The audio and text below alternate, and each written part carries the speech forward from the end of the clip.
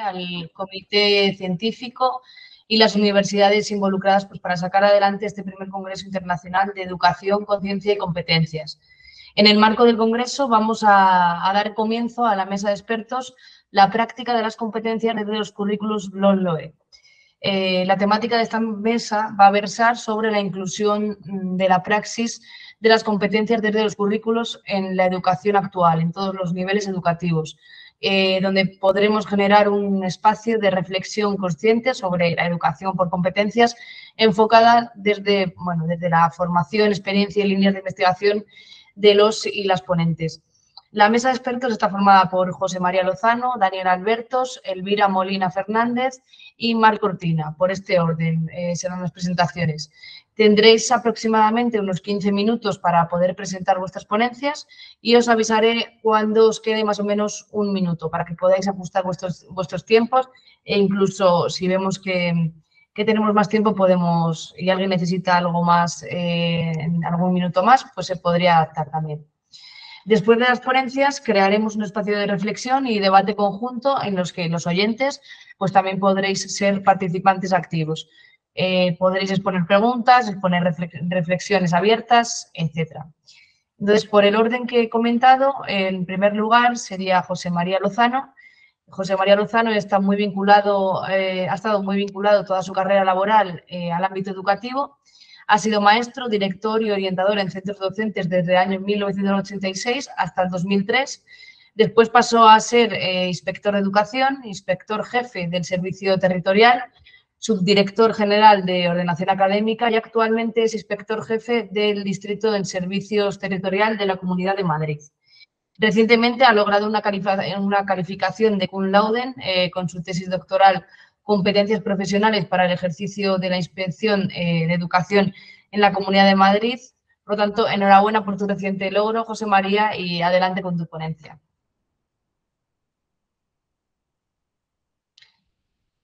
José María no se te escucha. Intenta si quieres dar al... Sí, eh, muchísimas gracias Victoria. Esta es la primera incidencia. Bien, yo te agradezco mucho tus palabras. Eh, es la primera vez que me presentan como doctor. Aunque si yo me tuviera que presentar, desde luego simplemente diría que soy una persona inquieta, ¿eh? prudentemente inquieta. Poco más puedo decir.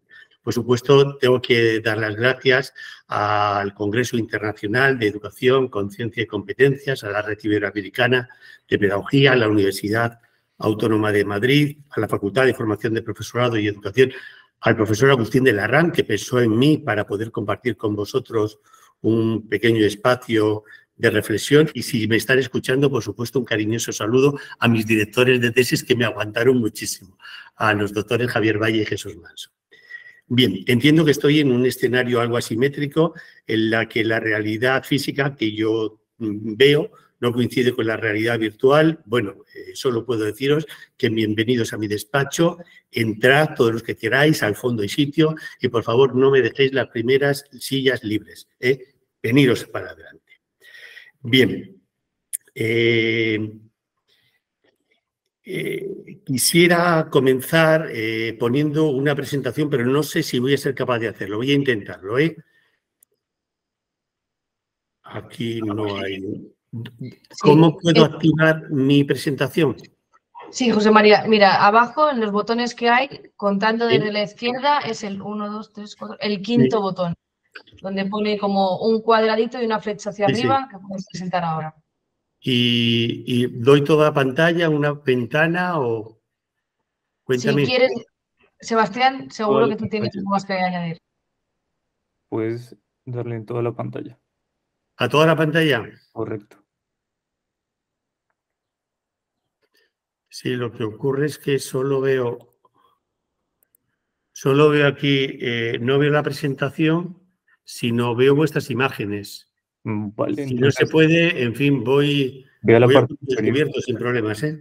Pues se puede ir para eso. Abre la presentación. Vale, ahora la vemos. Correcto, perfecto. ¿Lo estáis viendo? Sí. Bien, pues entonces creo que lo primero que tengo que hacer es, efectivamente, creo que aunque me presento como una persona inquieta, lo que llama la atención es que soy inspector de educación y entonces alguien pensará, ¿y qué pinto inspector de educación en este congreso? Bueno, pues yo, eh, desde luego, lo primero que hago es mostrar una escultura a la que tengo mucho afecto, que es la escultura La visita de inspección, en la que se ve que un inspector de educación está supervisando una práctica docente. Esta escultura, desde luego, tiene mucha intrahistoria, pero no creo que, sea este el momento de, poder desarrollarla. Realmente aquí ya se introduce qué pinta un inspector de educación hablando de competencias. Me vais a permitir, con un ánimo siempre provocador, no puede ser de otra manera, que inicie esta, eh, esta pequeña reflexión con dos párrafos. Dos sencillos párrafos. La experiencia ha demostrado cuán poco eficaces son las reformas de los centros docentes intentadas mediante una disposición general y rígida, prescribiendo planes o métodos no ensayados todavía y dirigidos a un personal docente que no esté identificado con el pensamiento del legislador o que carece de información y medios para secundarle. El éxito de una reforma como la que ahora se acomete solamente será posible con una mentalidad nueva e ilusionada en los que han de dirigirla y en los que han de aplicarla. Estas palabras que acabo de leer están escritas hace más de 50 años y corresponden a la exposición de motivos de la Ley General de Educación y Financiamiento de la Reforma Educativa, la Ley 1470. Un silencio provocador. La inspección y las competencias tienen distintas y variadas primas de intervención. Me vais a permitir que simplemente diga tres. Uno, por supuesto, el normativo, el desarrollo legislativo que condiciona el despliegue curricular, en este caso un despliegue curricular competencial, con las repercusiones que tienen de intervención en las aulas, en la ordenación académica, por supuesto, y en la organización escolar. También tiene una perspectiva que yo denomino como adintra, el ejercicio de las competencias específicas por parte de los inspectores de educación, aunque también podríamos hablar el ejercicio de las competencias por parte de los docentes. Tema interesante, tema al que he dedicado mi tesis doctoral. Se puede diseñar y programar el desarrollo de las competencias específicas por parte de los inspectores, se puede diseñar por parte de los docentes. ¿Cuál es la visión que tienen los agentes del sistema educativo del ejercicio de las competencias específicas por parte de los inspectores de educación. Y hay otra perspectiva que yo llamo adextra, que es la que todo el mundo conoce de los inspectores de, educación, la labor que realizamos para facilitar la práctica de las competencias en los nuevos currículum. Los currículum, los LOE, Mm, vinculados, como no puede ser de otra manera, a los anteriores marcos. Bien, debo deciros que este camino, que hay quien piensa que se ha iniciado con la LOE, pues, pues no ha sido así. La primera ley, la primera vez que en una ley educativa se mencionó el tema de las competencias fue de una forma muy sutil y breve en la ley 10-2002. Por supuesto, la ley 2-2006 es la que más lo desarrolló. Y en una modificación de la Ley 2-2006, la Ley 8-2013, la, la 11, eh, como consecuencia de ello se promulgó una orden, una orden muy interesante, firmado por aquel entonces ministro de Educación, pero debo confesaros que escrito por un modesto inspector de educación. La orden de 65 que describe las relaciones entre competencias, contenidos y criterios. Quizá marco normativo que no estaría mal sacar de los cajones y desempolvar en este momento. Como respuesta a qué pinta un inspector en, esta, eh, en este panel, pues me tengo que remitir, como no puede ser de otra manera, nuevamente, al artículo 151 de nuestra ley orgánica, la Ley Orgánica de Educación, en la redacción dada por la Ley 3-2020, porque ha habido modificaciones. El artículo 151 habla de las funciones de la inspección educativa. En esas funciones simplemente menciono cuatro, hay algunas más. ¿eh? Supervisar, evaluar y controlar desde el punto de vista pedagógico y organizativo el funcionamiento de los centros educativos, así como los proyectos y programas que desarrollen, con respeto, por supuesto, al marco de autonomía, supervisar la práctica docente, la función directiva y colaborar en su mejora continua, velar por el cumplimiento de los centros educativos de las leyes, reglamentos y demás disposiciones, daros cuenta que esta es una función que también tienen en el artículo 132 del mismo marco legislativo los directores de los centros, y otra que es algo así como un, por una parte, un cajón desastre, pero otra, por otra parte, acerca nuestra función a la realidad, a la trinchera de los centros educativos, que es asesorar, orientar e informar a los distintos sectores de la comunidad educativa en el ejercicio de sus derechos y en el cumplimiento de sus obligaciones. Claro, esta es una función, digamos que no es tan coercitiva, sino más de acompañamiento. No os olvidéis, no os olvidéis nunca, por favor, que los, los inspectores somos previamente docentes y fundamentalmente docentes. Bien, ese marco normativo se ha desarrollado en la Comunidad de Madrid en una estructura, en un tejido normativo desde el año 19, desde el año 2019. El decreto 61, la orden 732 que lo desarrolla, regula la organización, estructura y funcionamiento de la inspección y por otra parte dos resoluciones. Una resolución que establece el plan general plurianual de la inspección educativa y otra resolución de carácter anual que aprueba el plan anual de actuación de la inspección educativa. Quiero simplemente hacer un pequeño paréntesis en este apartado porque la labor, las tareas, las funciones, las obligaciones que tenemos los inspectores de educación son públicas y transparentes. Nos debemos a la sociedad y la sociedad tiene que saber qué es lo que hacemos los inspectores de educación. Bien, hasta aquí ese paréntesis. Bien, como marco de este, como desarrollo de este marco, me voy a centrar solo en las dos últimas resoluciones, la resolución plurianual y el plan anual de actuación. La resolución plurianual habla de muchos aspectos muy interesantes, por supuesto, establece cuáles son las actuaciones de atención preferente, que son aquellas que desarrollan líneas y objetivos prioritarios para la Comunidad de Madrid. Esta coyuntura temporal evidencia la necesidad de trabajar para la implantación del desarrollo competencial en los centros educativos. Por otra parte, crea equipos eh, de ámbito específico formados por inspectores de educación de las distintas comunidades autónomas. En la Comunidad Autónoma de Madrid somos 188 inspectores, no hay más. Y intervenimos sobre centros educativos que escolarizan a casi un millón de alumnos. ¿eh? Esos equipos de ámbito específico, yo por supuesto, como todos los inspectores, estamos integrados en una, pues unos establecen el diseño de protocolos para la supervisión de la organización, las enseñanzas y los resultados de los centros de infantil, primaria, secundaria, bachillerato, escuelas oficiales de idiomas, artes plásticas y diseño, música y artes escénicas, y todas las enseñanzas.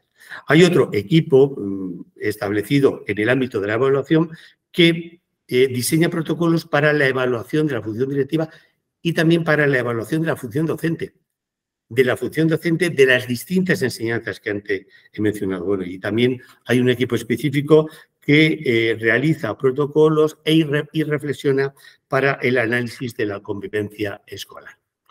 Eh, por supuesto, es también importante en el plan plurianual eh, el plan de formación, formación de los inspectores como un derecho pero también como una obligación para que nuestra intervención técnica sea lo más enriquecedora posible.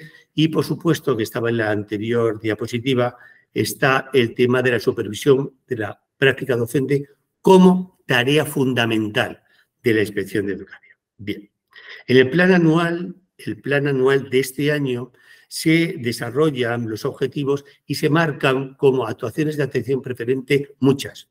Voy a centrarme en cuatro para que veáis cómo el desarrollo competencial se teje en la labor de los inspectores.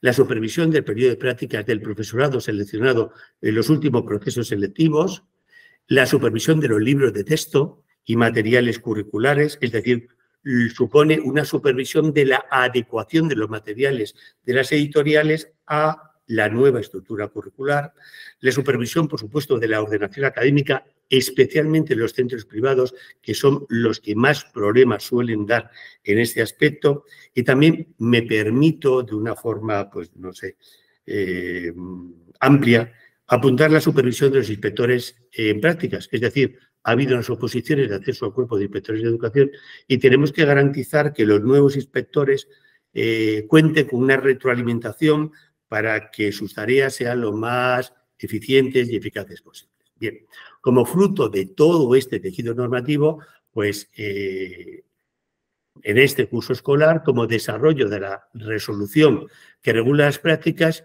se han elaborado unas guías concretas de supervisión de la práctica docente.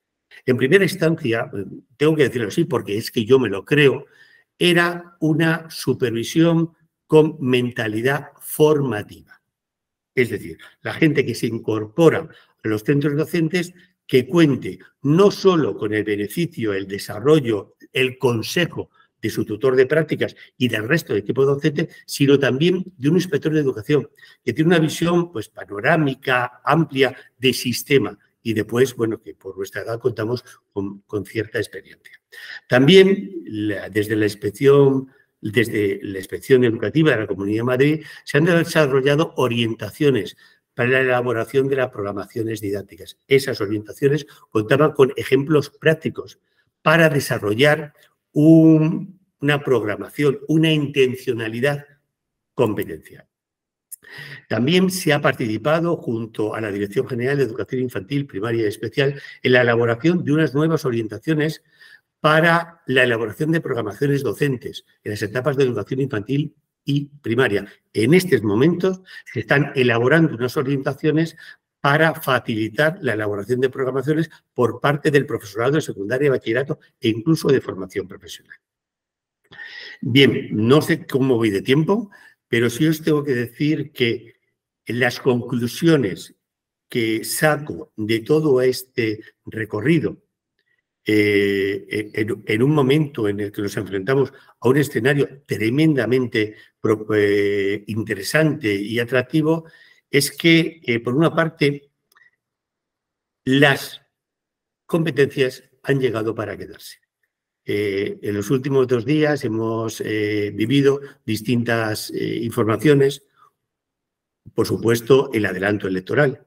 Y ha habido gente que ha hecho memes diciendo, bueno, pues ya la programación es la estilo porque voy a tener que hacer programaciones nuevas. Yo os tengo que decir con toda honestidad, con toda lealtad al sistema, no a las personas, sino al sistema, a las funciones que tengo establecidas, que, que las competencias han llegado para quedarse, que después de lo que habíamos visto del año 2015, realmente tenemos que dar respuesta a un movimiento internacional liderado en nuestro entorno próximo por las recomendaciones de la Unión Europea, por la visión y las eh, instrucciones de la UNESCO y, por supuesto, por el horizonte de la Agenda 2030 eh, para el desarrollo sostenible. Eso sin lugar a dudas. Es decir, lo que nosotros pedimos como inspectores no son papeles para guiarnos, son herramientas eficaces y prácticas para que la labor docente sea eficaz, no es otra. Otra conclusión, por supuesto, es que esto, por esos motivos, es una oportunidad. Y es una oportunidad para los centros docentes, es una oportunidad para los equipos para mejorar la labor que realizan.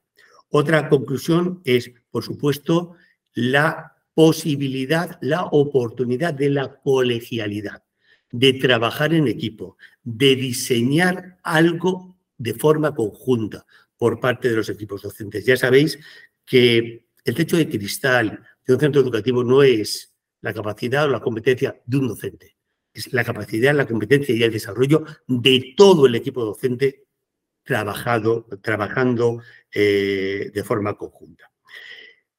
Otra oportunidad que nos da esta reforma educativa es la posibilidad de utilizar nuevas, herramientas para las respuestas a las diferencias individuales. Yo soy de los que piensan que un docente se tiene que mover, eh, eh, desarrolla su función en un entorno de atención a la diversidad.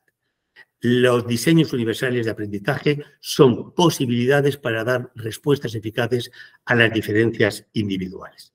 Por supuesto, esto supone también una acción de calidad, de mejora de la intervención educativa, porque no nos olvidemos la acción de calidad educativa repercute de forma directa en el desarrollo óptimo de la sociedad y como consecuencia en el desarrollo óptimo de las, de las futuras generaciones. Y, no sé cuánto tiempo he consumido, pero yo en este momento quedo a disposición de todo el mundo para aquellas preguntas que consideren oportuno realizar. Muy bien, muchas gracias, eh, eh, doctor José María Rozano. El tiempo ha estado, ha estado más o menos eh, ajustado, así que también muchas gracias. y bueno, pues por toda la rigurosa información que has aportado, por poner en auge también eh, la importancia de la inspección educativa para mejorar desde dentro y desde la realidad el diario educativo. Bueno, pues por acercarnos a esa organización de la inspección educativa, ¿no? También la necesaria formación continua de inspectores eh, y, cómo desde eh, dentro de esas actuaciones de, de atención preferente, pues muchas veces se pone el foco en los alumnos, pero no solo es eso, como muchas veces también dice Agustín, los alumnos solo son uno de los centros educativos y no hay que olvidar los demás. Por ejemplo, eh, la revisión de la práctica docente, los profesores en formación, etcétera. Así que, eh, si os parece bien, las preguntas las vamos a dejar para el final de las, eh, de las ponencias, porque quizás haya, bueno, pues se, crucen temas entre unas ponencias y otras, pero bueno, por si queréis ir pensando en alguna futura reflexión, sí que he puesto, me he apuntado aquí dos, como por ejemplo, si las competencias, lo que ha dicho el, el doctor Lozano, las competencias han llegado para quedarse y otra, eh, otra reflexión al aire que dejo y muy acertada por su parte también es que la necesidad de esa universalidad para dar respuestas específicas. Muy bien, muchas gracias, José María. Ahora sería el turno de, Daniel Alberto, Albertos Gómez, perdón. Daniel Albertos Gómez. Hola, buenas tardes. Hola, buenas, buenas tardes. Es licenciado en Biología y en Pedagogía, doctor en Educación, cuenta con más de 20 años eh, como, como docente de secundaria, fue profesor asociado durante cuatro años en la UNIR y en la Universidad de Nebrija y en la actualidad es asesor técnico docente para el programa ComDig Edu en la Subdirección de Innovación y Formación del Profesorado de la Comunidad de Madrid. Es autor, ponente y colaborador de la Fundación Promaestro. Así que nada, Daniel, bienvenido y muchas gracias por participar en esta mesa de expertos. Adelante, esto tuyo. Muy bien, pues gracias a vosotros por haberme, eh, bueno, hecho posible que, pueda participar y en especial a, mi amigo Agustín de la RAN, eh, que fue mi director de tesis, el cual estoy viendo, viendo por ahí. Y bueno, primero voy a, intentar compartir con, con vosotros una pequeña infografía.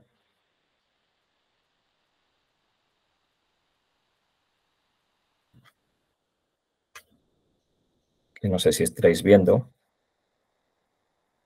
Sí, la podemos ver. A ver si la hago aquí. No la he querido sacar del formato este, pues bueno, porque se ve un poco más, más movida, con más movimiento. A ver, un momentito.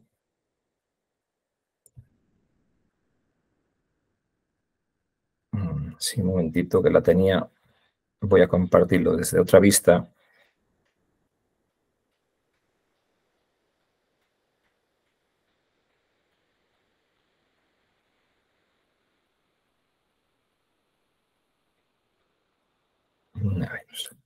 que la tengo aquí abajo.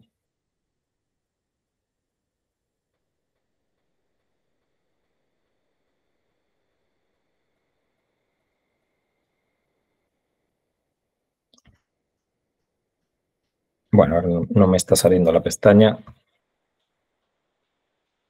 Bueno, dejo eso un poco ahí. Es simplemente por ir guiando un poco el, discurso y, y, mejor empiezo, ¿vale? es un poquito, bueno, mi intervención está más, más bien dirigida un poco a, la práctica, ¿no? A, desde lo que es el currículo de la LOMLOE, el ver cómo podemos ser capaces, eh, los docentes, de trasladar eso a, nuestras aulas. En principio, como ha dicho antes eh, eh, José María Lozano, pues la verdad es que el currículum competencial pues eh, realmente fue en 2006 con la, con la LOE, cuando realmente pues fue, eh, digamos, eh, su puesta de largo en lo que es la legislación. Y a partir de ahí empezamos todos un camino para muchos desconocido y que, bueno, pues durante este tiempo ha ido, bueno, poniendo pequeños pasos, han aparecido otras leyes, la 11 y finalmente la LOE en la que estamos, ¿no?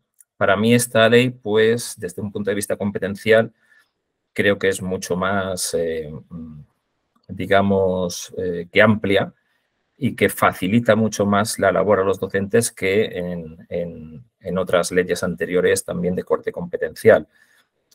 Lo digo porque los elementos curriculares aparecen mejor, mejor enlazados, se, hace una labor de, bastante guía y de ayuda al profesorado, eh, se describen muy bien esos, esos elementos curriculares y además se asocian muy bien unos con otros, lo cual eso es una, gran ayuda para el docente a la hora de, elaborar sus, programaciones y diseñar su secuencia de actividades en una, en una unidad. La estructura eh, se parece a otras, la estructura curricular, me refiero de elementos curriculares, pero trae sobre todo una, novedad, entre comillas, que son las situaciones de aprendizaje. Las situaciones de aprendizaje, que bueno, el nombre eh, creo que es nuevo, pero realmente la idea ya es antigua. A mí me recordaba a los centros de interés de De Crowley en su tiempo, a principios del siglo XX, contextualizar el aprendizaje en definitiva, pero que al profesorado la verdad es que le ha creado bastantes problemas. O sea, el, profesorado, luego hablaremos eh, también un poco de las dificultades que está teniendo a la hora de llevar a la práctica este, este currículum competencial, pues eh, le resulta bastante complicado el diseñar buenas situaciones de aprendizaje porque es algo mm, también que es novedoso para muchos. Entonces, está llevando un tiempo, pero creo que se están dando pasos eh, importantes en el, tema de la formación del profesorado. En cuanto a, esto es un poco la situación, ¿no? En cuanto a qué podemos hacer eh, o cómo podemos hacer los docentes eh, para llevar esto a nuestra aula. Básicamente siempre ha habido dos, posibilidades, ¿no? No solamente ahora, sino en, otras, en otros momentos. Uno es seguir el libro de texto, y que las editoriales te hagan, digamos, un poco el trabajo y, te digan por dónde tienes que tirar, que te den las situaciones de aprendizaje ya más o menos hechas, aunque, bueno, las editoriales, pues bueno, no todas han, han ido al mismo ritmo en, esta actualización y no, y, no lo han planteado todos de la misma manera, pero bueno, hay muchos profesores que, tradicionalmente mm, su manera de dar clase ha sido apoyándose en el libro de texto y esta podría ser otra estrategia para ellos. En mi caso, yo soy más bien de la segunda estrategia. Yo creo que cada docente debe ser un diseñador y creador de sus propios contenidos y, crear sus propias situaciones de aprendizaje, ¿no? Entiendo que esto puede ser complicado y por eso hace falta mucha formación del profesorado, pero creo que el, currículum está diseñado de tal manera que, nos facilita esto. Si uno parte de las situaciones de aprendizaje, a partir de ella es capaz de englobar los criterios de evaluación con sus contenidos o saberes y, todo eso, como ya le viene relacionado con las competencias específicas y a su vez le viene relacionado con los descriptores operativos, pues la, labor es más, más sencilla en cuanto a la relación. De todas formas, aquí pues todavía quedan muchas cosas por hacer. Yo lo que propondría y lo que, lo que he hecho en los últimos años cuando he estado en, en la docencia en activo Ahora estoy un poco en otro, otro aspecto, pero bueno, he estado muchísimos años en la docencia activa y yo lo que propondría es un trabajo más por departamento. Sobre todo en educación secundaria, propondría un trabajo más departamental, más por disciplinas, es decir, coger los criterios de evaluación de cada, de, cada disciplina y a partir de, eh, de, ellos rubricar, rubricar de tal manera que podamos tener eh, un consenso en cuanto a los niveles de desempeño, por lo menos en una misma disciplina y, si es posible, a lo largo de varios cursos, si esa disciplina se da durante varios años, de tal manera que podemos crear unos niveles eh, de progresión coherentes a lo largo de, una serie de, años. Ese es un trabajo complicado, es un trabajo difícil y creo que la manera de abordarlo es a través de los departamentos. Aquí nos podemos encontrar con, algunas dificultades, como decía antes. Una de ellas es la falta de, tiempo de coordinación que tienen los docentes de secundaria y ya no os digo nada de los de primaria, que aún tienen menos, menos tiempo para ello. Y ese es un hándicap importante. Eh, normalmente se han hecho las cosas en los centros educativos pues, de manera muy individualista y deberíamos ser capaces de pasar de ese individualismo a, poder eh, confrontar las ideas y poder sacar cosas en claro y, actuar de manera conjunta. Pero para eso digo que hace falta ese tiempo de coordinación. También hace falta una, formación más específica en didácticas de las disciplinas. Eh, se está haciendo mucha formación metodológica, pero yo creo que todavía eh, haría falta también una, formación más, como digo, de, didácticas específicas ¿no? de cada materia. Y luego también hay que vencer un poco la oposición de cierta parte del profesorado pues, a, esta renovación, eh, no solo curricular, sino también pedagógica, que lleva muchos más años eh, ahí en el ambiente y con, con esta LOMLOE yo creo que, que, ha salido más a la luz y, está más patente todavía.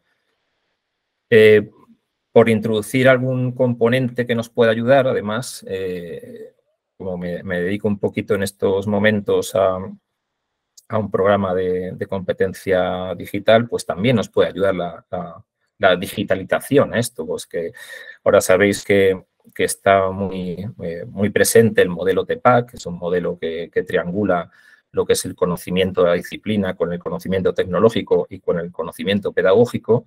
Y en los centros están, se están utilizando herramientas como los planes digitales de centro que podemos aprovechar para desarrollar, sobre todo metodológicamente, eh, no, solo tener una mochila tecnológica, sino esa mochila tecnológica desarrollarla en nuestro día a día en el aula y, bueno, pues ingresarla, introducirla totalmente e integrarla con nuestra metodología, que sea una metodología activa. Entonces yo creo que son herramientas que pueden ayudar al profesorado, que en estos momentos está haciendo una apuesta muy importante por ese, ese desarrollo y que era esa, aprovechar ese, ese alza ¿no? de la metodología innovadora, aprovecharla para introducir la educación competencial en esa, dentro de esa metodología. ¿no? Eh, por ejemplo, pues el trabajar por proyectos, que, está muy en boga, pues eh, quizá faltaría el, realmente meter esas competencias en esos proyectos eh, de tal manera que fuesen claramente y fácilmente evaluables, y que tuviesen una coherencia con los demás elementos curriculares. Eh, por finalizar, eh, os, quería comentar un, pequeño ejemplo práctico eh, que hicimos hace, hace un par de años. Salió la publicación en diciembre del año pasado en la revista Didáctica de las Ciencias Experimentales y Sociales de la Universidad de, Valencia. Entonces, en el, en el, centro donde, donde estaba yo antes de, salir del aula en activo, pues hicimos una investigación en la cual, eh, bueno, pues cogimos eh, un grupo de primero de la ESO, que fue el grupo experimental, y dos grupos también de primero de la ESO, que fueron los grupos control.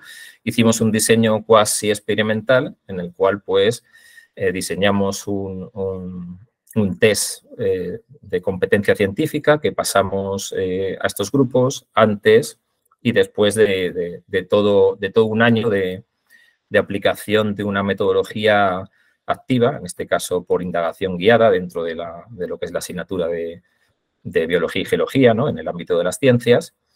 Y lo que pudimos eh, constatar al final de este, de este trabajo es que bueno, pues detectamos que había eh, diferencias significativas eh, de mejora en cuanto a la competencia científica en el grupo experimental con respecto a los grupos control que habían seguido una eh, metodología más tradicional, más basada en contenidos y más eh, con metodología pasiva.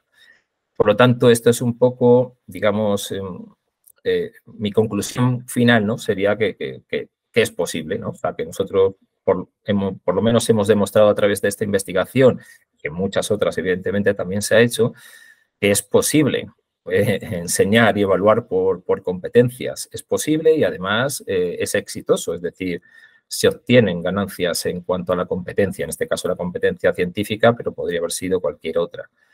Por lo tanto, el camino se puede recorrer, es posible. Lo que hace falta es pues, eh, guiar al profesorado eh, a través de la, de la formación poco a poco hacia esta, hacer real, ¿no? Esto que nos dice el currículum, el llevarlo a, la práctica y al aula y, hacerlo pues con, garantías de, éxito. Es un poquito mi, conclusión y bueno, pues no sé si eh, todavía falta tiempo, ¿no? O, podemos... Eh, Llevas 12 minutos.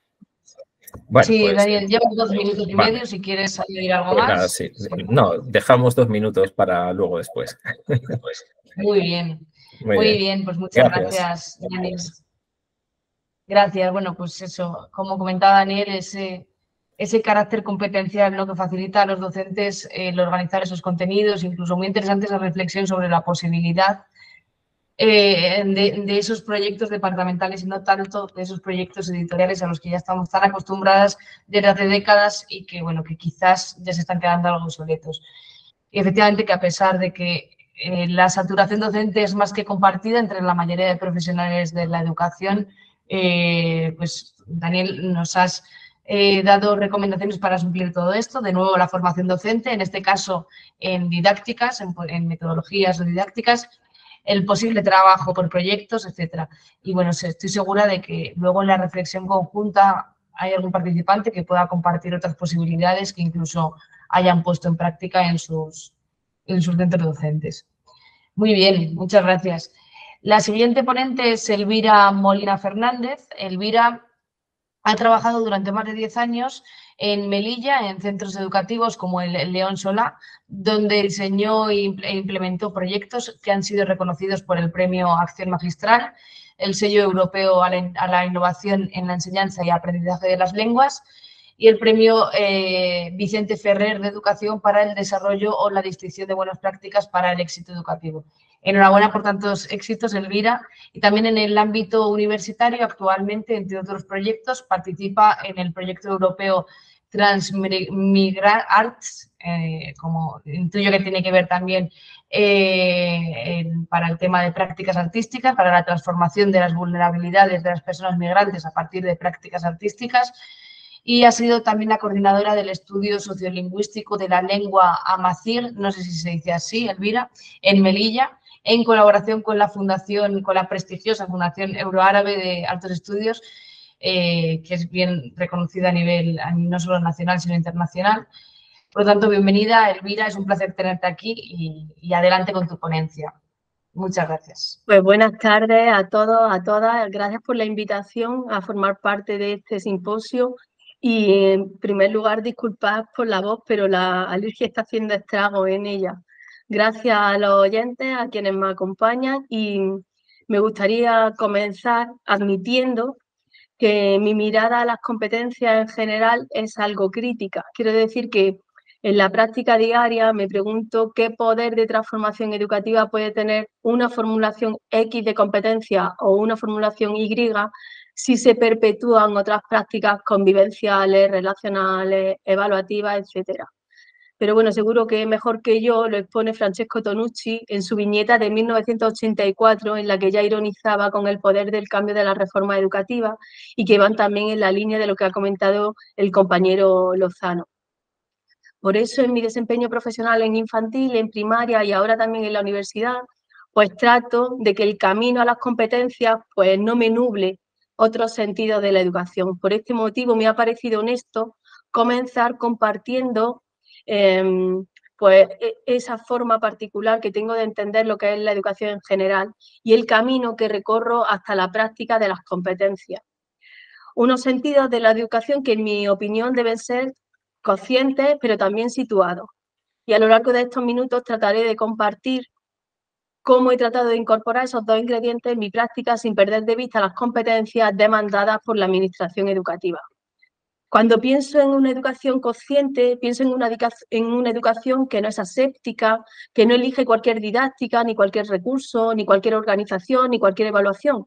Pienso en una educación que conoce, que sabe y responde a, por ejemplo, una situación local concreta, que, que, puede ser social, económica o incluso con raíces históricas, que conoce, sabe y responde a un centro educativo que es particular que puede tener una u otra reputación, una u otra instalaciones, recursos, una educación consciente que conoce, sabe y responde a un equipo. A un equipo me refiero no solo al directivo, que también, sino al equipo educativo, tanto al personal técnico, incluso al personal del comedor, si existe, o al de limpieza u otros posibles que estén allí conviviendo. Una educación que conoce, sabe y responde a una familia y a todas las diversidades posibles, culturales, educativas, económicas, y no es casualidad que haya dejado para el final al alumnado. Lo he hecho a propósito porque, en mi opinión, es complicado considerarlo en el centro protagonista o con un papel relevante si no se tiene en cuenta esta mirada de forma algo más ampliada a todo lo que sucede además. Es como cuando hacemos una fotografía en modo primer, primerísimo plano, muy, muy cerca, y decimos que conocemos la realidad. Pero si abrimos el zoom, es posible que además de conocerla, pues la comprendamos.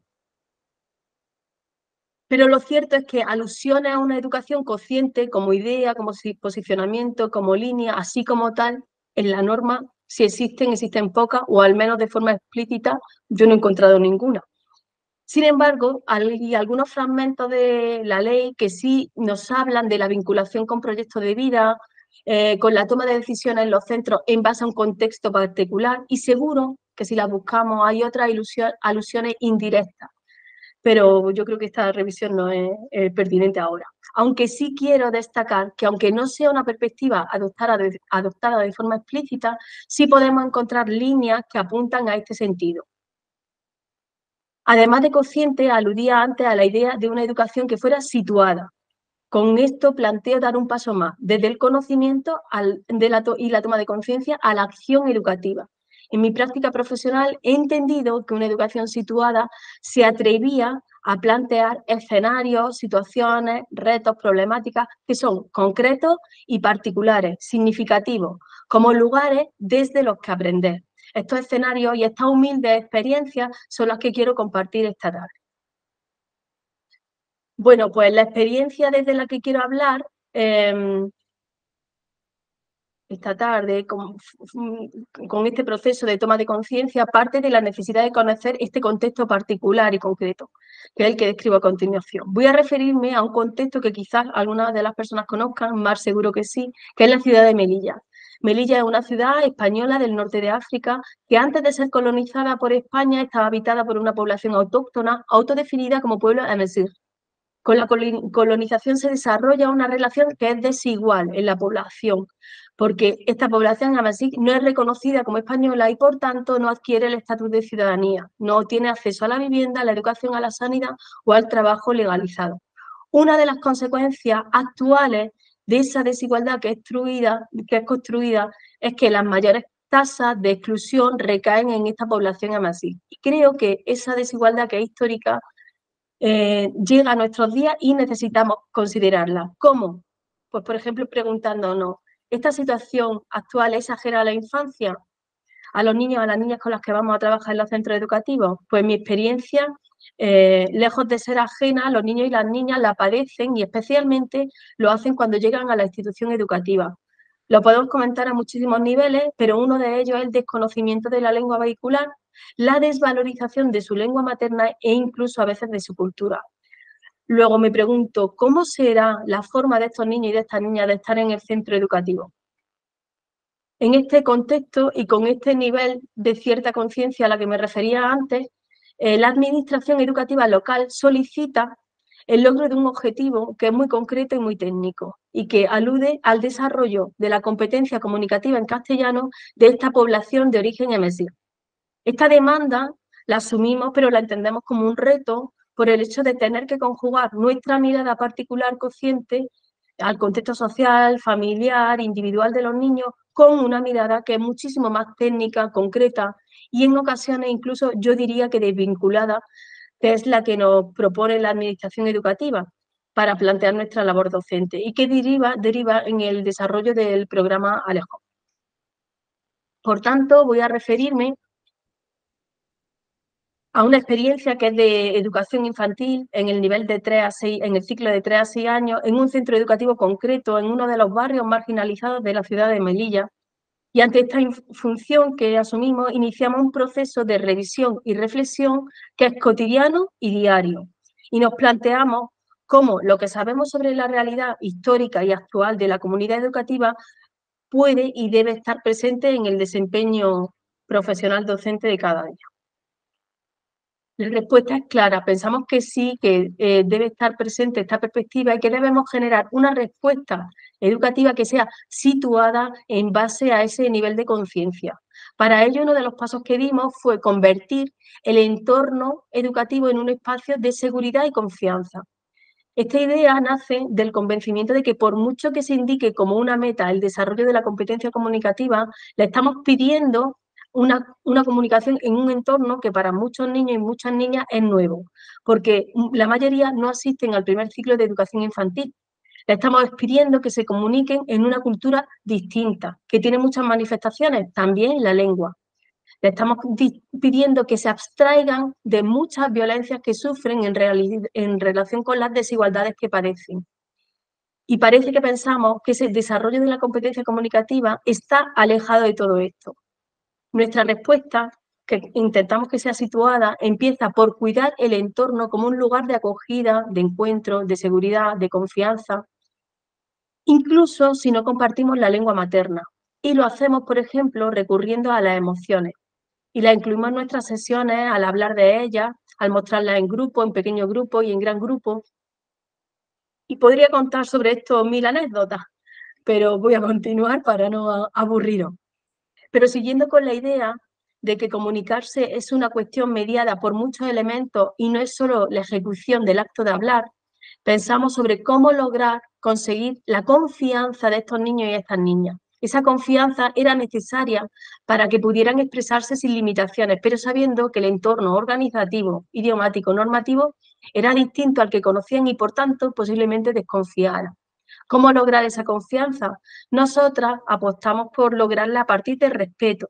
Respeto, por ejemplo, a sus formas de expresión, aunque se saltaran la norma lingüística, poniendo entonces en valor el fondo, su interés por contar algo, por compartirlo en el grupo y por hacerlo en público, Respeto también por sus formas de actuar, que pueden o no estar ajustadas a las normas, gustarnos o no, incluso cumplir nuestras expectativas o no. Y llego incluso a decir una forma de comportamiento que pueden dañarnos o no.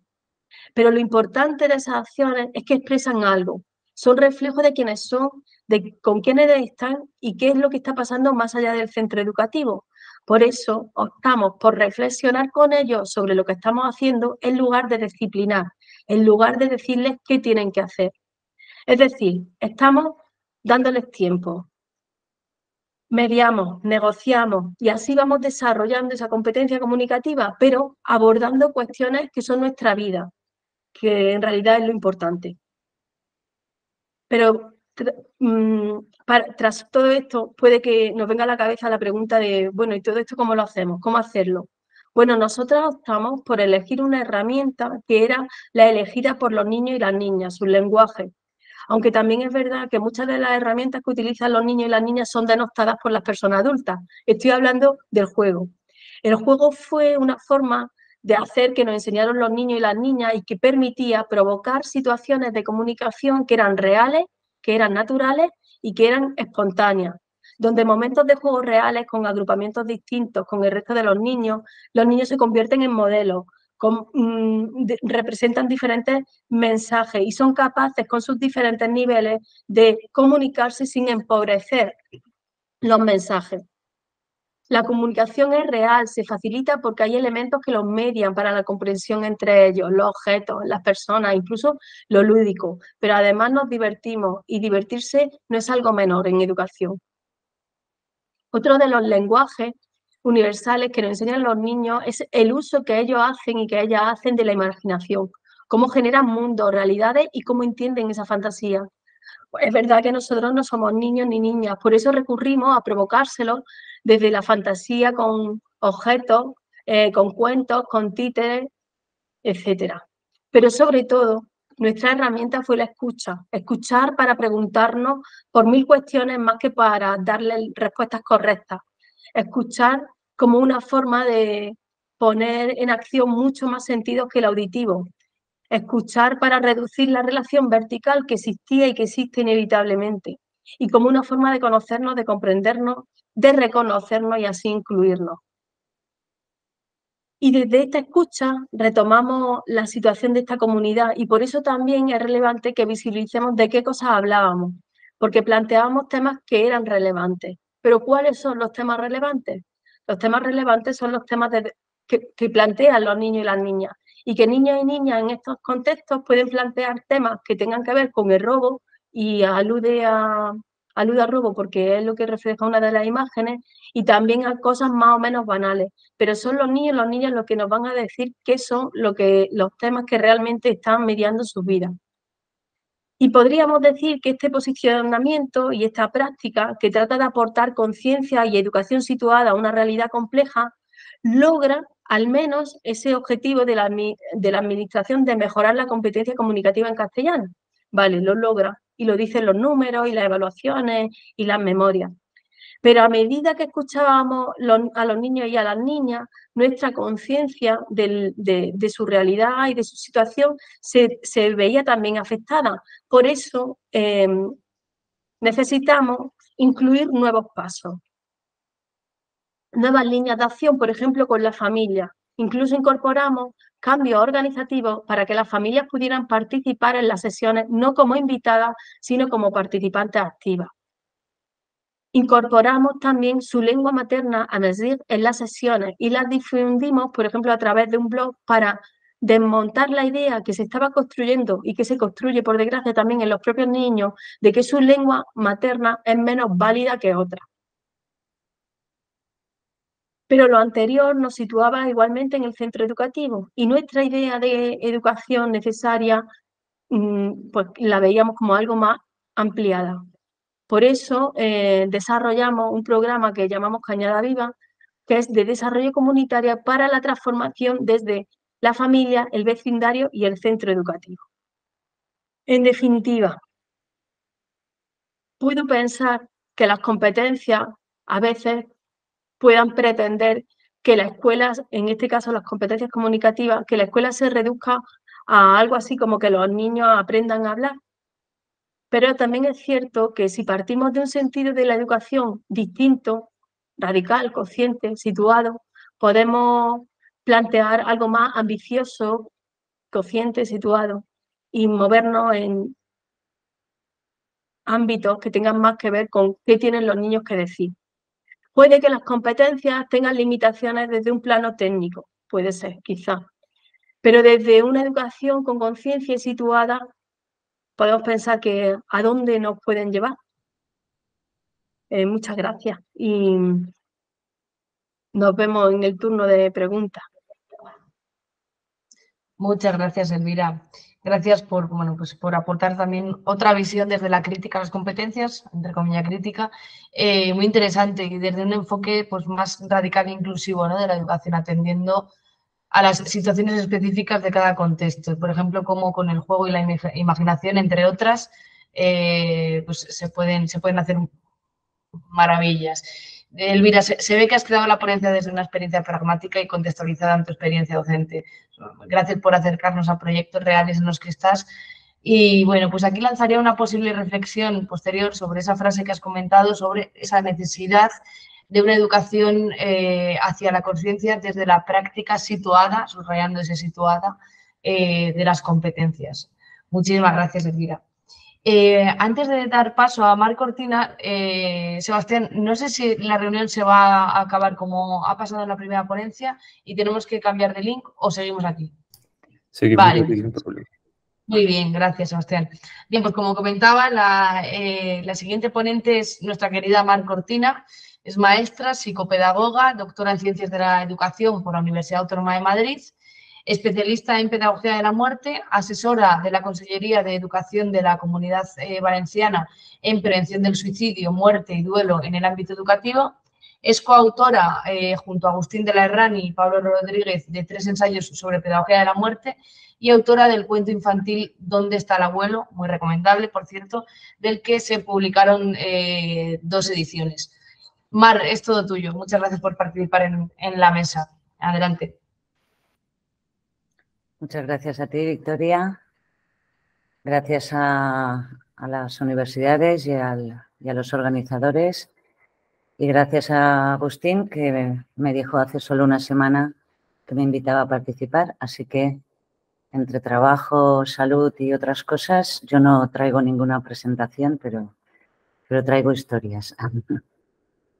Em, bueno, yo estoy de, la parte de Elvira, en el que escuchamos poco a los niños y adolescentes que la palabra escucha debería estar en mayúsculas eh, en el ámbito educativo. Y bueno, ah, yo soy psicopedagoga porque he elegido serlo, porque creo y siento que los, los chavales con los que me encuentro son una fuente de aprendizaje personal. Eh, tuve la oportunidad de trabajar un año en la universidad, con un año me bastó. Tuve la oportunidad de trabajar en un centro de profesores para organizar cursos de formación y con un año me bastó, sabiendo que, mi, que el campo donde yo quería trabajar era cara a cara con, los chavales. He sido 15 años eh, docente y 17 psicopedagoga. Este es mi último año de, vida laboral. Y ah, si el enfoque radical, inclusivo, habla del autoconocimiento, yo voy a ponerme más radical en el sentido de no de raíz, sino de radicalidad porque estoy ah, completamente convencida por mi experiencia personal barra profesional, que, que va muy unido, de que sin un autoconocimiento del docente de nosotros mismos, em, estamos muy limitados. Y eh, estamos muy limitados a la hora de enseñar competencias, porque ¿quién puede enseñar competencias que no las tiene? Estamos hablando de, si yo me voy aquí a, la, a los descriptores operativos, yo de lo que podría hablar son de la competencia personal, social y de aprender a aprender y de la ciudadana.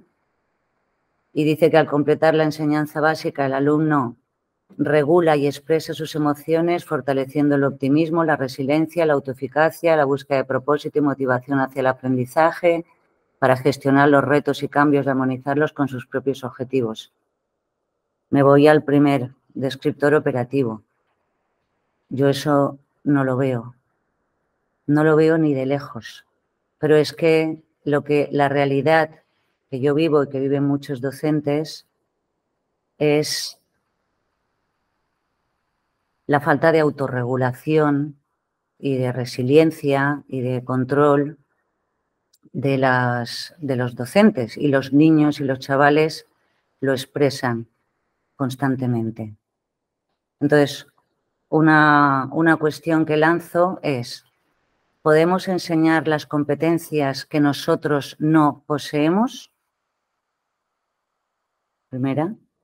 ¿Están incluidas eh, en, esa formación en competencias de los profesores las mismas competencias que pretendemos enseñar a nuestros alumnos? ¿O esto cada uno va por su lado y... Eh?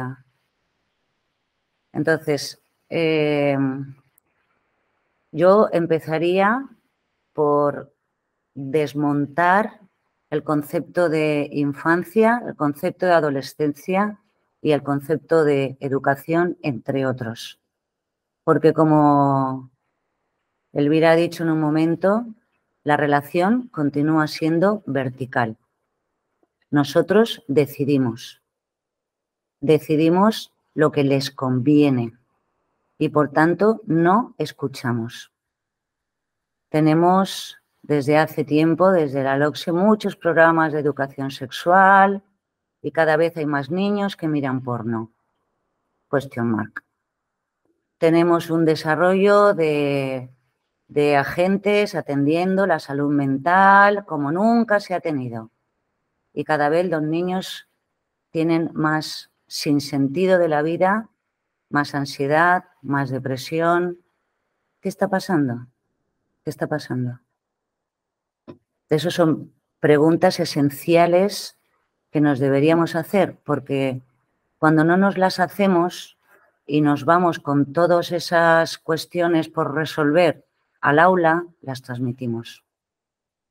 Y los niños, como decía Miguel Ángel Santos Guerra, no escuchan lo que decimos, escuchan lo que sentimos. Los niños y los chavales nos perciben, nos captan y por tanto enseñamos lo que somos, nos enseñamos, eh, enseñamos a nosotros mismos. Por eso la importancia de la conciencia sobre nosotros mismos, qué fortalezas tenemos, con qué dones hemos venido, cuáles nos faltan. No pasa nada, es solo tener conciencia de ello. Por eso decía en la intervención anterior, no todos tenemos que sacar un 10 en competencias, porque formamos un equipo y los que yo, a los que yo no llego van a llegar otros. Pero los chavales van a recibir que somos un equipo ocupándonos de ellos, ocupándonos hay un sentimiento muy grande de desamparo por parte de los adolescentes, pero paradójicamente hay un exceso de protección que enmascara ese desamparo. Que no le pase nada al niño, que no tenga traumas, que no... Eso es lo que, lo que yo vivo. Eh, hay una... Os voy a poner un, dos o tres ejemplitos para que veáis cómo de alguna manera lo de, lo de las competencias, evidentemente en mi instituto hay un 4% que, que trabajan de una manera global y desde el inicio, desde la metodología, desde el trato y desde las evaluaciones, todo es coherencia, pero la mayoría de, de los docentes no pueden, saben o quieren hacerlo. Em, entonces, en mi evolución como, profesional, una de mis mm, fortalezas sería que tengo mucha capacidad de empatía para captar las necesidades de los alumnos. Eso es de una manera natural pero no la he tenido hacia los profesores y siempre he tenido como cierta crítica. En mi evolución personal he ido comprendiendo que las personas hacemos lo que podemos desde donde podemos y como podemos. Y que siempre resulta mejor eh, echar, hacer ver lo que falta desde una manera eh, paciente y cariñosa y estar a, a su disposición. A la vez que yo buscarme también mi propia, o sea, que esto sea como una cadena de favores, ¿no? Yo estoy a disposición de y alguien está a disposición mía. Es, es muy importante, si yo estuviera haciendo formación de profesores, decir que los aliados, con uno, con un aliado, basta para, para, con el objetivo de querer hacer algún cambio. No podemos hacerlo solos. Es mucho más arduo y tampoco tiene mucho sentido. Pues en estas situaciones, por ejemplo, como vino un alumno, nosotros vivimos en un lugar donde hay una, se llama espacio educativo, que hay 80 alumnos. Eh, los niños entran a las 9, salen a las 2 y ellos eligen todo el tiempo lo que quieren hacer. No hay asignaturas, no hay profesores, hay acompañantes. Entonces, desde hace cinco años, cuando cumplen 13, 14 o 15, deciden pasar al instituto. Y ahí tenemos un tipo de alumnos bastante concretos que otros institutos en el Estado español no tienen. Uno de ellos, su padre era ingeniero y le ayudaba en los proyectos y tanto a nivel de hacer maquetas como en la elaboración del proyecto. Entonces, cuando llegó la primera evaluación, le suspendieron tecnología y, plástica. Yo le pregunté a la profesora cómo que había pasado esto con lo que Florence sabía, ¿no? O sea, con lo competente que era en hacer este tipo de cosas. La respuesta fue porque no había entregado un trabajo. Le pedí que, me que me diera la oportunidad de darle yo las notas a Florence. Florence pasaba bastante tiempo conmigo por esa transición. Y, lo que pude decirle es, mira, ¿tú ves este papel? Este papel no tiene nada que ver contigo. Este papel tiene que ver con un sistema educativo que tiene que calificar y evaluar algunos aspectos y otros no los tiene en cuenta.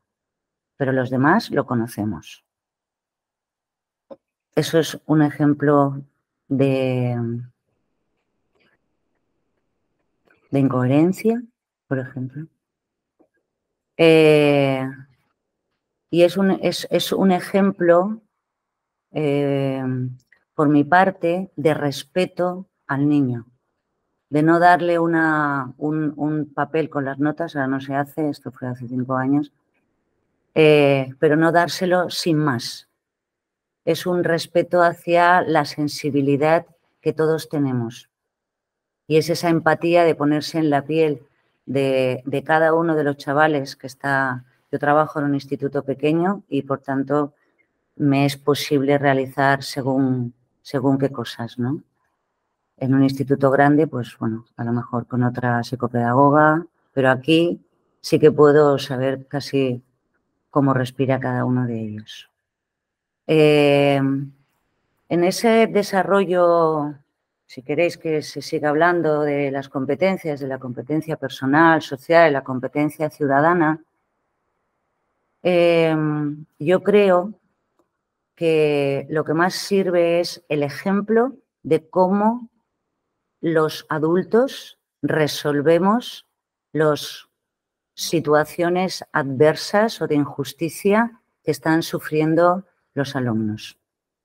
Entonces, por mi parte, cuando primero, como desde mi profesión, lo que creo es un clima de confianza, confidencialidad, en lo que ellos, entonces, formo parte de un claustro, formo parte de un equipo, me paseo por los patios, subo a las tutorías, soy una más entre los docentes, no soy la loquera a donde hay que ir al despacho cuando alguien tiene un problema sino que estoy en medio de la convivencia y eh, hago todo lo posible para que esa convivencia se desarrolle de la manera más justa posible para todos.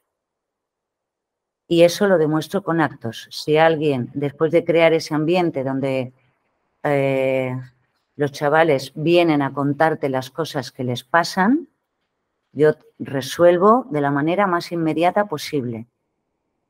Y en, esos actos de responder a las injusticias, yo estoy haciendo, si queréis, competencia ciudadana. Pero lo que estoy, lo que estoy uh, ofreciendo es, tú me importas. Si los chavales captan que, les, que nos importan, pero para eso tenemos que sentirlo, si no es una mentira y una hipocresía y por tanto es peor. Si los chavales captan que nos importan, la mitad del camino está hecho. Si, sin un corazón tranquilo, sin, ah, no hay manera de aprender. Entonces, yo todos los años, aunque no me escuchan, digo, dediquemos el primer tiempo del curso, lo que haga falta, a que el clima del aula sea bonito, sea justo.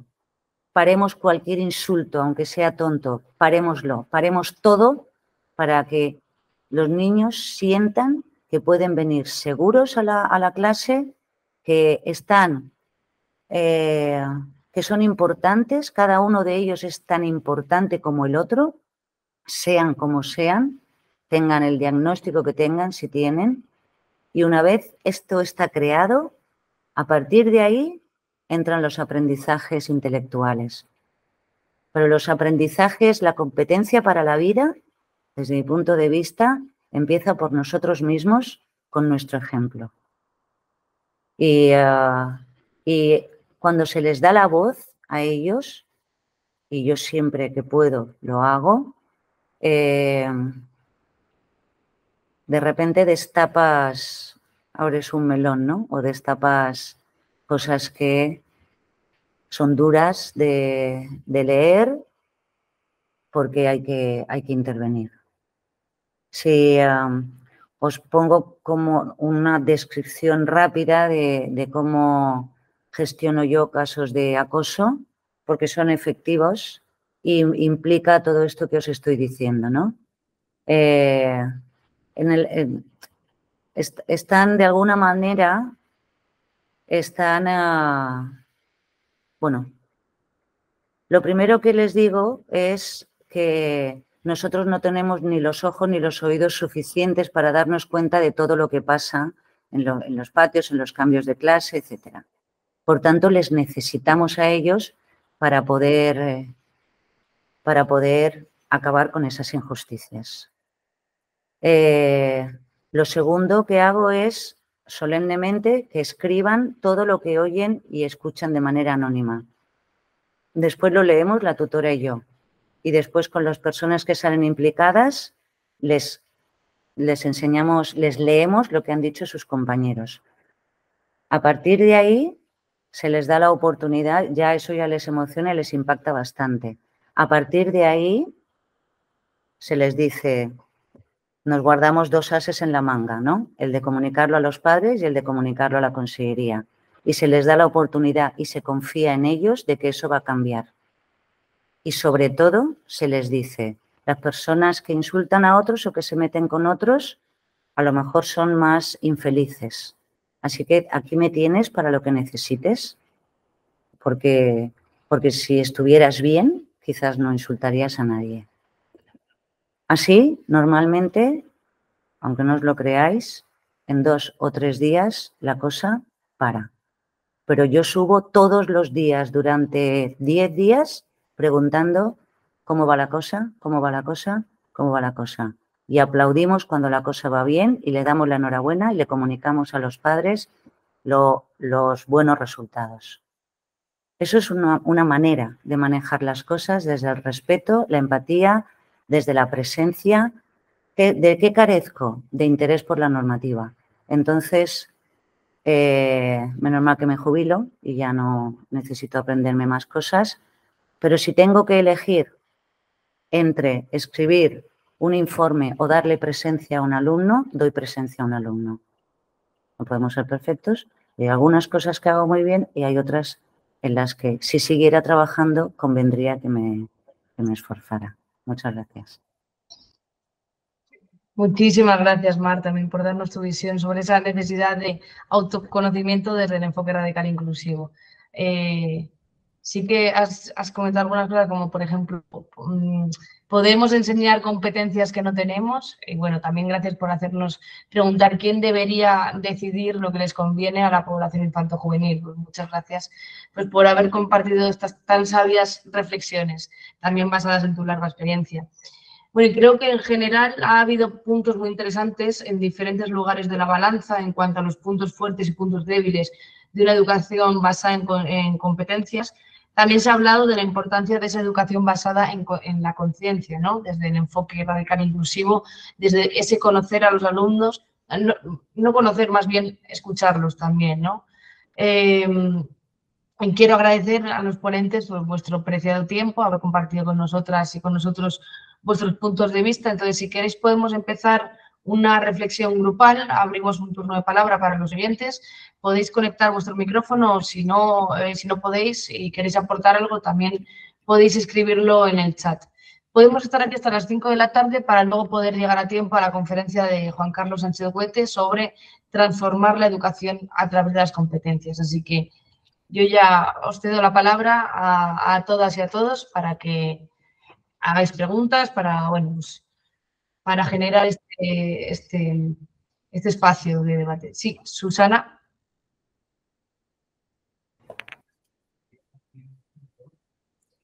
Eh, buenas tardes, voy a darme la cámara, es que estoy en el despacho, estoy trabajando y por eso. Eh, me gustaría haceros una pregunta. Eh, llevo escuchando durante más o menos la mañana y, un poco durante la tarde eh, el tema de dar voz a los alumnos, de atenderles en situaciones emocionales, emocionales perdón, complejas. yo este año he tenido que abrir, un protocolo de suicidio, tres protocolos de em, pues, de riesgo social, eh, situaciones de conflicto y todavía sigo sin ver, y perdonadme, eh, que tiene esto en contra del trabajo por competencias. Es que no lo comprendo. Eh, perdonadme si es que a lo mejor no llego a, esta profundidad. Creo que, como ha explicado José María Lozano, el trabajo de inspección es una ayuda y un acompañamiento y una guía en, nuestro trabajo como docentes. Eh, estoy de acuerdo con Daniel en ese trabajo a nivel eh, de coordinación vertical y a nivel globalizada, tanto en secundaria como en primaria como en infantil. Eh, estoy totalmente de acuerdo contigo, Mar, en ese trabajo en equipo con tanto orientadores, PTSCs, como docentes, como familias, eh, estoy de acuerdo también con Elvira, con acercar las familias al centro y sigo sin ver, perdonadme, desde un, día em, intenso en un centro escolar, que tiene esto que ver en confrontación con el trabajo de las competencias. De verdad, por favor, si podéis iluminarme, os lo agradezco de todo corazón.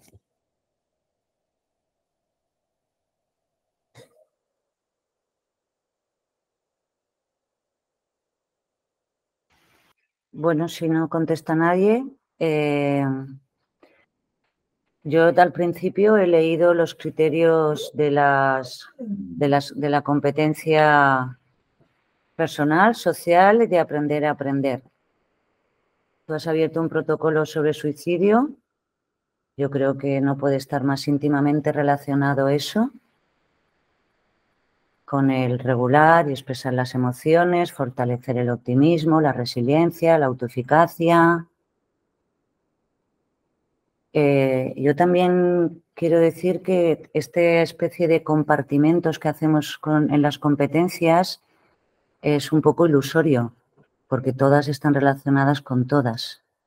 Y desde luego que la competencia personal, emocional, social, y, eh, no sé cómo se puede separar de la ciudadana, se, puede, se separa para, eh, para poder evaluarla, se separa para la conveniencia de los, de los evaluadores, pero todas están unidas. Una, una competencia comunicativa tiene que ver con lo personal, con lo social y con lo ciudadano.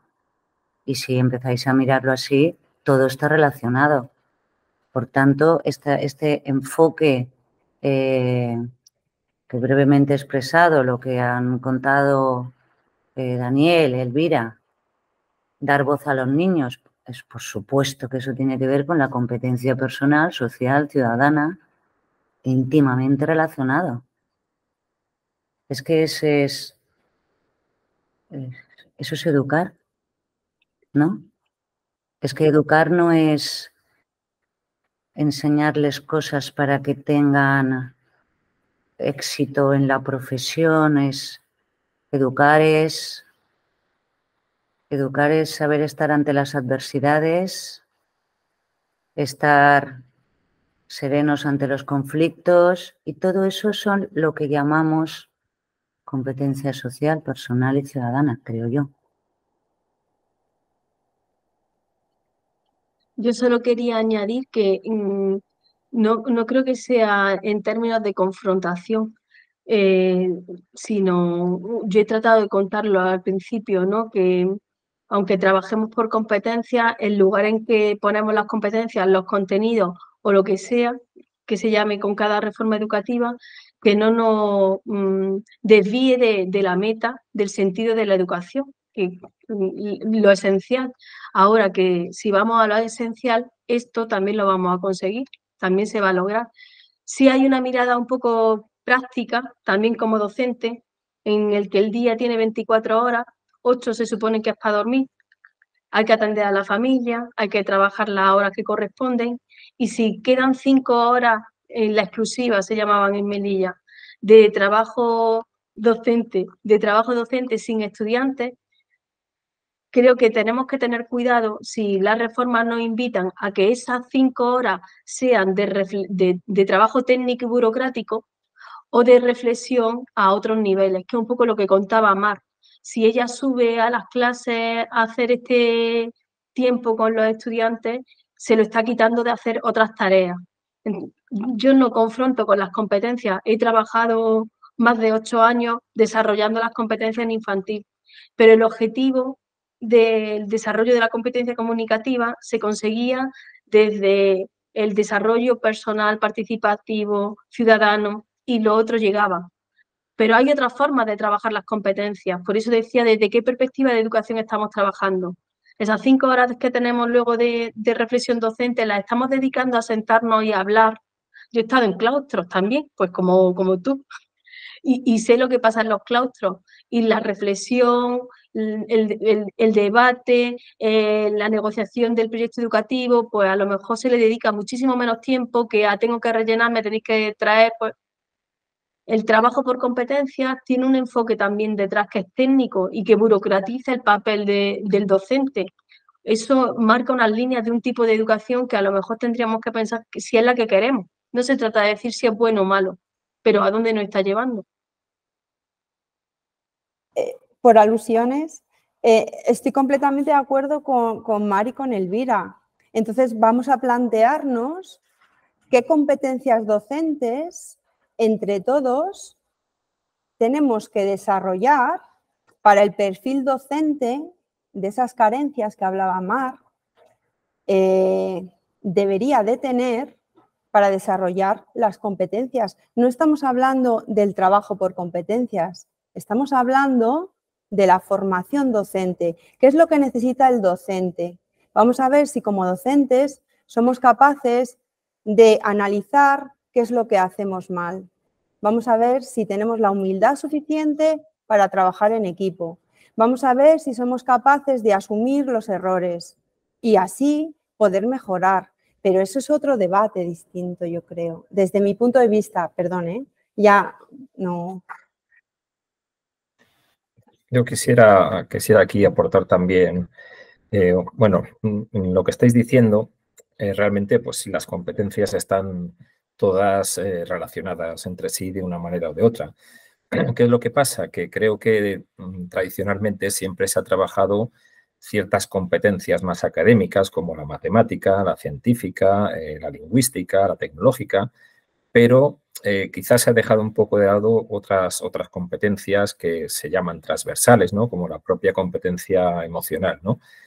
En este sentido, pues eso es algo que, se debería trabajar, se debería trabajar en el aula, cada profesor debería trabajar en el aula esas, esas otra, ese otro currículum transversal, digamos, y teniendo en cuenta siempre que, que cada uno de nosotros mm, no es competente en todo y tampoco es que le falte competencia en nada. Es decir, que, todos tenemos un nivel de competencia mayor o menor en, cierta, en ciertos aspectos y que en nuestro día a día pues vamos, vamos eh, mejorando y desarrollando pues eh, eh, todos ellos en mayor o menor medida. enlazando esto con aquella pregunta que hacía Mar, ¿no? si se puede enseñar una competencia que no se posee, ¿no? pues en este caso de las competencias emocionales, pues no sé, puede un profesor enseñar eh, esa, esa, competencia emocional si tiene una baja inteligencia emocional, por ejemplo. Hombre, yo siempre creo que los docentes lo que tenemos es una actitud muy positiva, es decir, siempre tenemos la, buena intención de, enseñar lo máximo que, que, podamos, ¿no? Y creo que cada docente debe ser consciente de cuáles son sus limitaciones y cuando eso se produce es cuando el docente debe poner eh, todo lo que esté en su, en su, en su mano para poder formarse en aquello que, demandan sus alumnos y que a lo mejor pues el profesor no tiene suficientemente desarrollado. Yo creo que ese es el, el camino.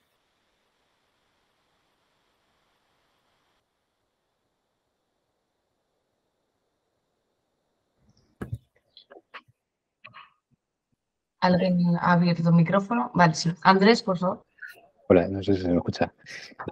Sí.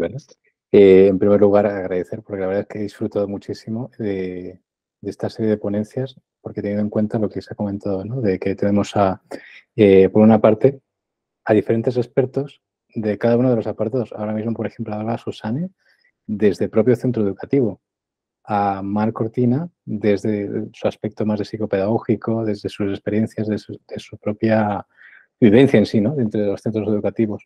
A Daniel Alberto también y, bueno, también lo que nos comentaba, ¿no? Bueno, pero no me enrollo más y voy a, la cuestión.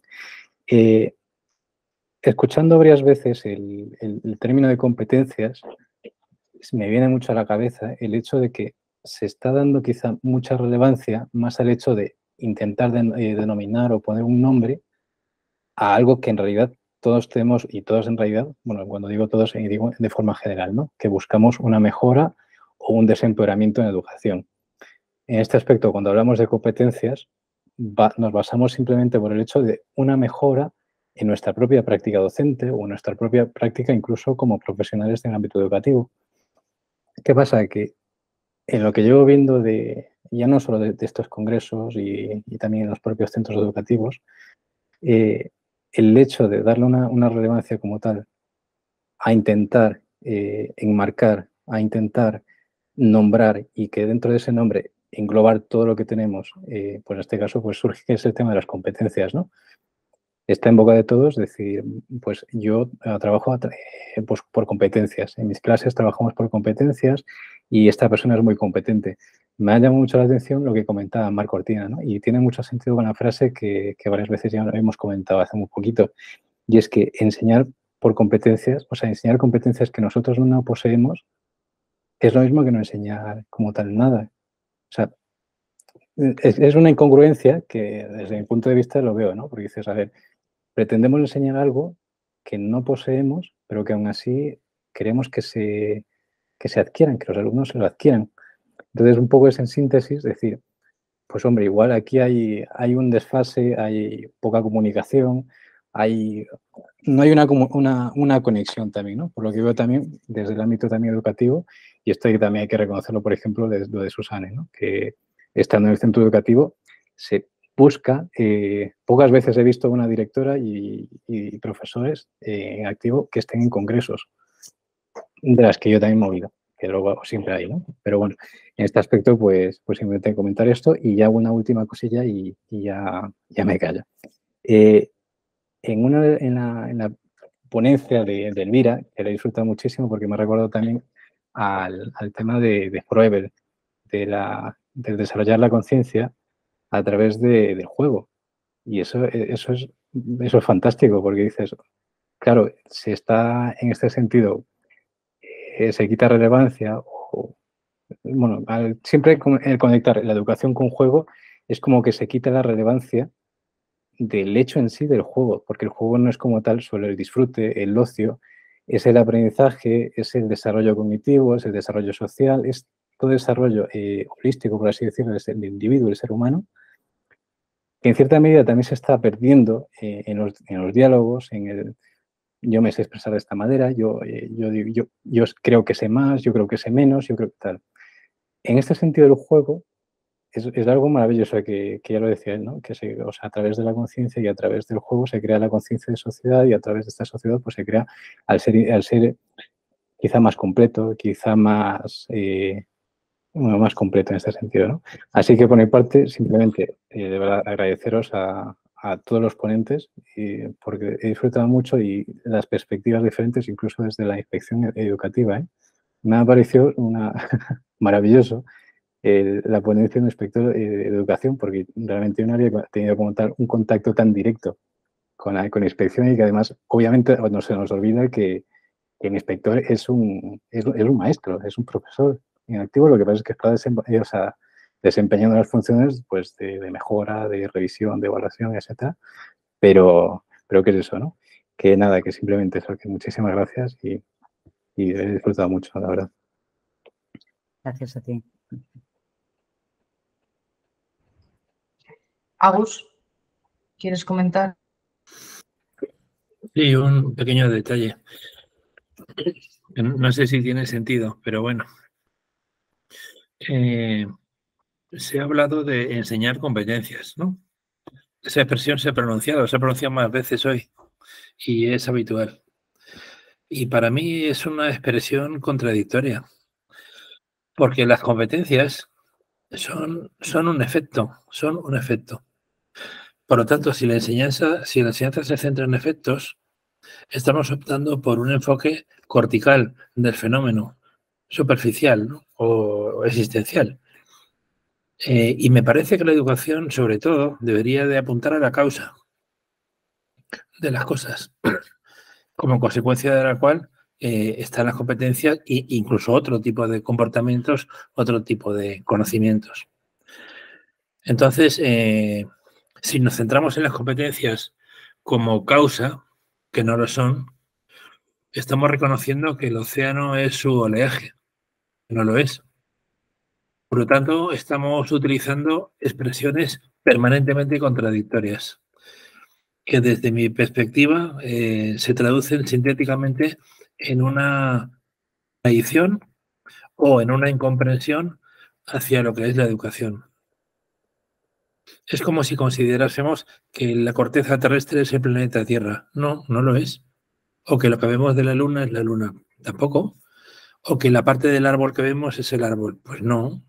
Eh, lo llamaremos así. Eh, lo repetiremos cien mil veces, pero no por hacer eso, eh, la cosa va a ser de ese modo. Entonces,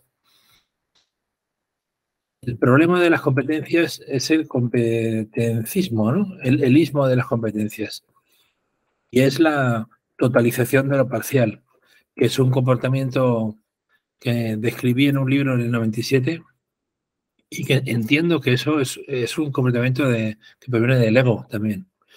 Eh, si nos ajustamos al fenómeno, pero, todo pero a todo el fenómeno, como hacía Taylor, entenderemos que las competencias son una parte de la educación y una parte de la educación que sobre todo interesa al Estado. El Estado es el le interesa de las competencias. A lo mejor las personas no. A lo mejor los profesionales vuelven a estar interesados.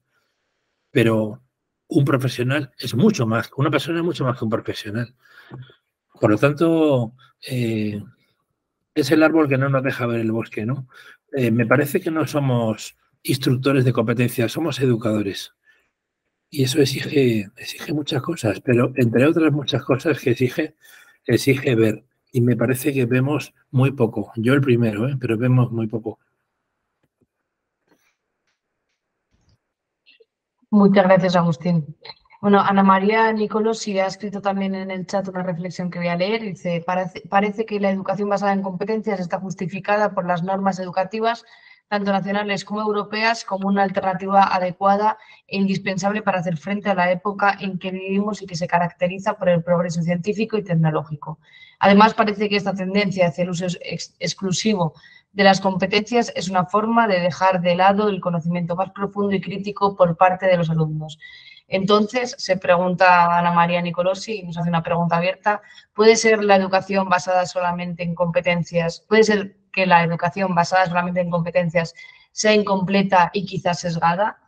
Bien, llegados a este punto, a las 5 y 3 de la, tarde, bueno, quería agradecer a José María Lozano, Daniel Albertos, Elvira Molina, Mar Cortina, las aportaciones también, por supuesto, de Susana, de Andrés, de Agus, de Ana María, eh, la coordinación por parte de, Sebastián y la participación de todos los oyentes a esta mesa de expertos. Os paso, si queréis, por el chat, por acaso queréis eh, acceder a la ponencia que, está teniendo, que va a tener lugar ahora mismito por parte de Juan Carlos Sánchez Huete, para que lo tengamos aquí todos. Y nada, quería agradeceros de nuevo vuestro, vuestro preciado tiempo. Ha sido muy gratificante, ha sido muy enriquecedor ver todos los, los, enfoques que, que habéis dado entre, entre todas y todos. Muchísimas gracias. Y una moderadora de lujo. ¿eh? Sí, muchas gracias, Victoria. Ha estado genial. Gracias a vosotros.